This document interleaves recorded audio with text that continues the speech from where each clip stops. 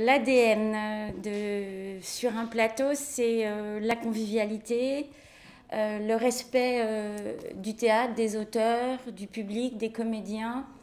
c'est la découverte, puisque les compagnies qui jouent pendant quatre jours à Annecy ne sont pas euh, d'ici et euh, on aime à proposer des spectacles que les Annéciens ne verraient pas forcément euh, sans cette programmation.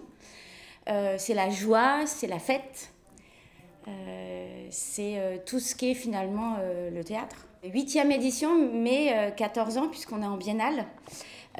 au fil des années, on a gardé notre ligne directrice qui est la découverte justement. Euh, on, est très heureux de pouvoir aussi compter sur une équipe qui, euh, bah, qui est toujours la même quasiment. On, gagne quelques personnes par euh, édition, mais le noyau dur est là. Le collectif Cafeté, Artichaut, Acroplanche est là. Et puis on a d'autres personnes qui nous rejoignent.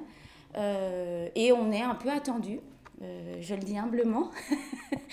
Donc a priori ça marche, oui. Comme le dit notre parrain Jean-Paul Allègre, qui est euh, un, auteur de théâtre euh, joué un peu partout dans le monde, amateur ça vient du verbe aimer. Donc euh, nous sommes tous amoureux du théâtre, comédiens, metteurs en scène ou pas. Et on défend, oui, cette passion pour le théâtre. Même si on est amateur, on, on veut absolument montrer du travail de qualité. Euh, ce qui n'est pas incompatible d'ailleurs. Et puis, euh, et il y a aussi un choix de compagnies avec lesquelles on, a un point commun. Parce que, voilà, euh, quand je disais joie, c'est aussi inviter des, des, des, gens qu'on connaît ou pas, mais avec qui on a envie de nouer, même pour quatre jours, une vraie relation humaine. On a une seule troupe au Savoyard, si je ne me trompe pas, qui vient de La Roche-sur-Foron. Et puis ensuite, on a plusieurs compagnies qui viennent euh, de Clermont-Ferrand, deux d'ailleurs.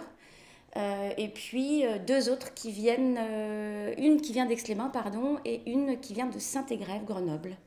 Et une qui vient de Villers-les-Nancy,